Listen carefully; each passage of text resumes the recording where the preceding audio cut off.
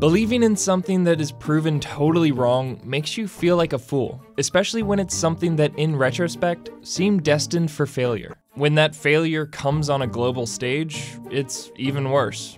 That's exactly what happened in 2017 when the US men's national team barely needed to do anything to qualify for the World Cup and decided to soil themselves instead. This is the worst US men's national team match. October 10th, 2017, Ato Boldon Stadium in Trinidad. The United States men's national team is facing off against Trinidad and Tobago with a great chance to book their ticket to Russia for the 2018 World Cup. All that they need to do is win or draw. As long as they don't lose, they'll advance to their eighth consecutive World Cup.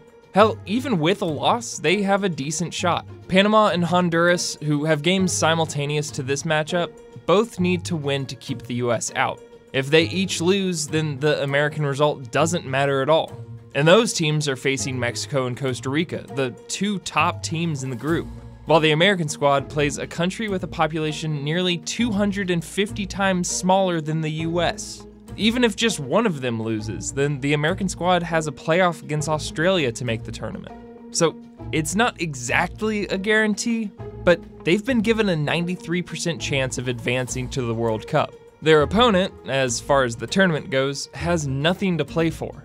Trinidad and Tobago entered the matchup on a six game losing streak and already eliminated from a trip to Russia.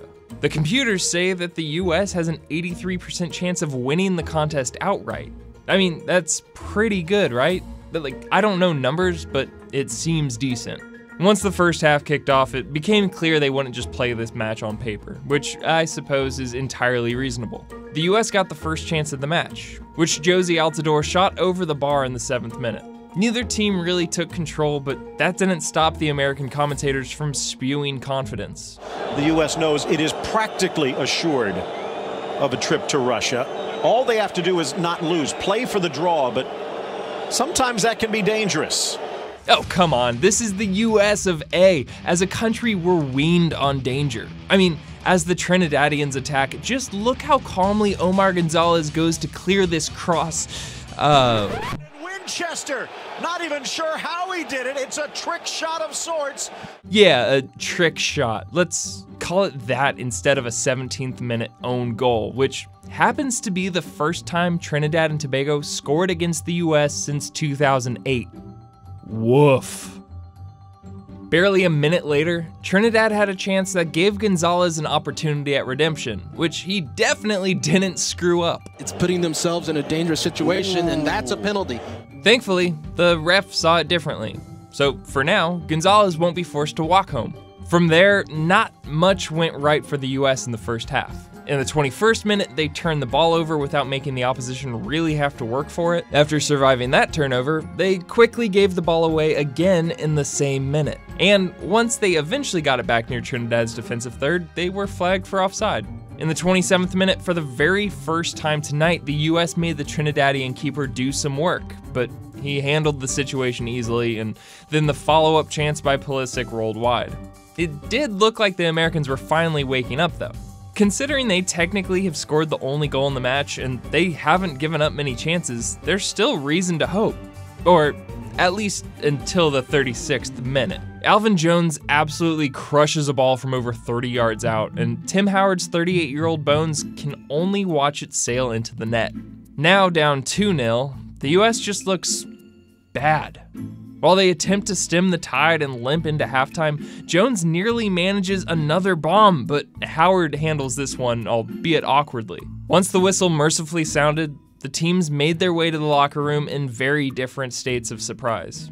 So, the bad news. The Americans are down 2 0 to a team with a goal differential of negative 13 in the hex entering this match. But the good news is that both Panama and Honduras are also losing. If every result holds, the US will still be heading to Russia, despite the fact that for the last year plus they haven't played the most inspired football. They dropped their first two contests in this qualifying round, blowing a chance to draw with Mexico by giving up a goal in the 88th minute then suffering their worst loss to the Ticos in the history of the USMNT. That led to Jurgen Klinsmann getting the boot and Bruce Arena reclaiming the position he had held a decade earlier. That move has mostly paid off. Since then, Arena led the squad to a 3 3 1 record. The wins came against Trinidad and Tobago, Panama, and Honduras, the three squads below them in the table coming into tonight. They won those games by a combined score of 12 0.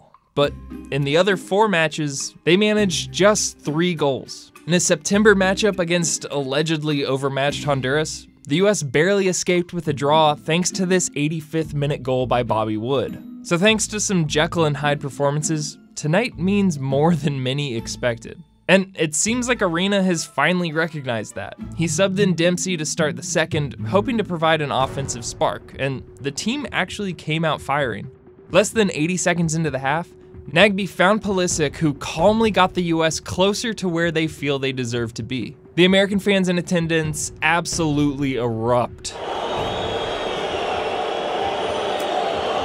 With the uncontrollable masses urging them on, the US found more chances. Bradley sent one in that Altidore got his head on but couldn't keep it down. In the 69th minute, Bradley once again sent a nice ball in which Dempsey put on goal but it was parried away. They continued to create good looks, and in the 77th, Dempsey sent one in that kissed the post and rolled away.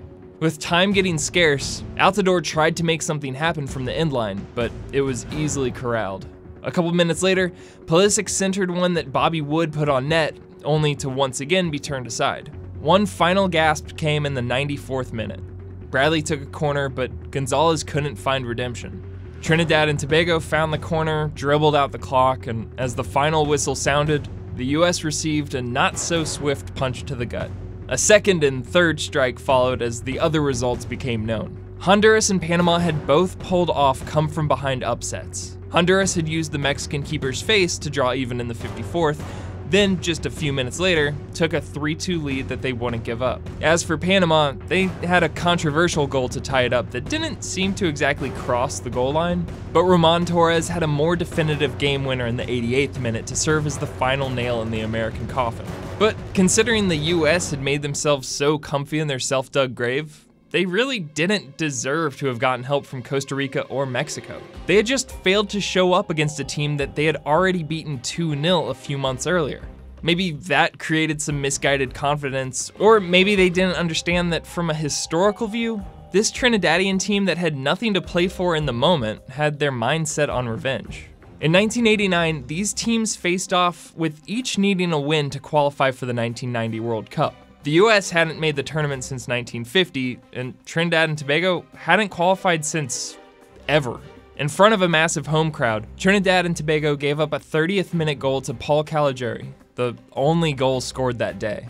That sparked the US run of seven straight World Cup appearances, a streak that ended thanks to the boot of Alvin Jones, whose father was on the losing side in 89. What made the result extra sweet for the victors was some misguided complaints by the American squad leading up to the game. Before the match, Trinidad had been hammered by a rainstorm, which is not unusual for an island country. The US caused a fuss over the fact that their practice fields essentially had a moat, and naturally, that fuss snowballed into a media talking point aimed at the host country as though they could control the weather. The Trinidadians felt the disrespect and played like a team looking to prove a point. Now, other defeats contributed to the end of the World Cup streak, but this was the one where they knew for a fact what was at stake and had complete control over their future.